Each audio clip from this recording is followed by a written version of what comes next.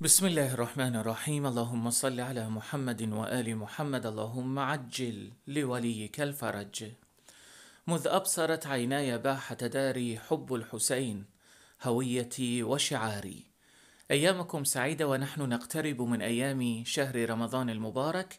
نسأل الله سبحانه وتعالى أن نوفق نحن وإياكم لصيام نهاره وقيام ليله وأن نعيش أجواء روحانية ملكوتية مع ذكر محمد وآل محمد. من أقوى النذورات في ليلة الجمعة لأبي الفضل العباس سلام الله عليه هو أن تهديه ألف صلوات محمدية. تقرأها نيابه عن الإمام الحسين عليه السلام وتهدي ثوابها لأبي الفضل العباس سلام الله عليه.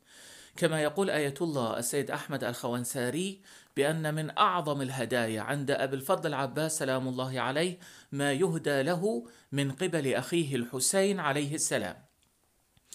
لأنه سيده ومولاه وقائده وحبيب قلبه لذلك عندما تصلي على محمد وآل محمد ألف مرة تقول اللهم صل على محمد وآل محمد وعجل فرجهم.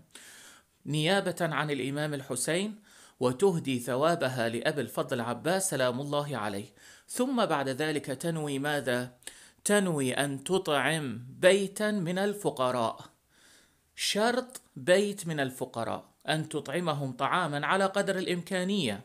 ليس إلا طعاما فاخرا. لا لا على قدر الإمكانية. شرط بيتا من الفقراء.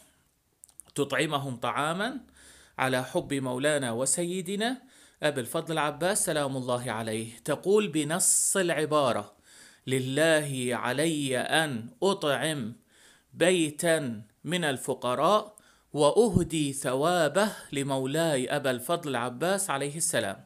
رجاء حافظ على نص هذا النذر. لله علي أن أطعم بيتا من الفقراء على قدر ما أستطيع وأهدي ثوابه لمولاي أبا الفضل العباس عليه السلام. إن شاء الله هذا النذر لا تمر عليه الليلة أو بعض ليلة إلا وقضى العباس عليه السلام بشفاعته عند الله سبحانه وتعالى جميع حوائجك. برنامج صباحة الأيام من محمد خادم في مرقد الحسين بن علي عليهما السلام.